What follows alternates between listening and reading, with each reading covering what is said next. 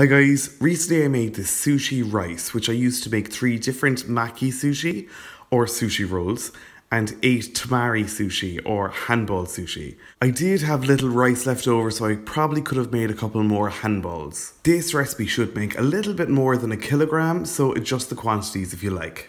Start by adding 120 milliliters of rice vinegar to a saucepan over a low heat. Then add 3 tablespoons of caster sugar, and 1 tablespoon of sea salt flakes. Then whisk to dissolve. The gentle heat will help the salt and sugar to dissolve, but you definitely don't want this to boil, that'll distort the flavour. Then set it aside to cool. Now add 450 grams of Japanese rice or sushi rice or short grain white rice to a sieve and wash it really well for a few minutes under a running cold tap until the water that's running out of the sieve runs clear.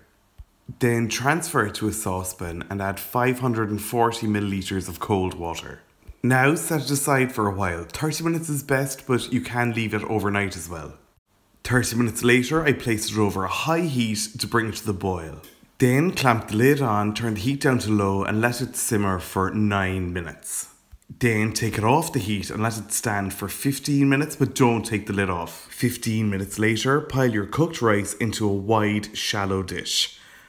Pour over your now cooled seasoned vinegar and stir it up with a wooden spoon, making sure that the rice is evenly coated in the vinegar. Try not to break any of the grains of rice here as well. Now you need to cool the rice quickly, so I'm going to fan it with a light chopping board, but you can use an actual fan or the cool setting of a hairdryer if you like.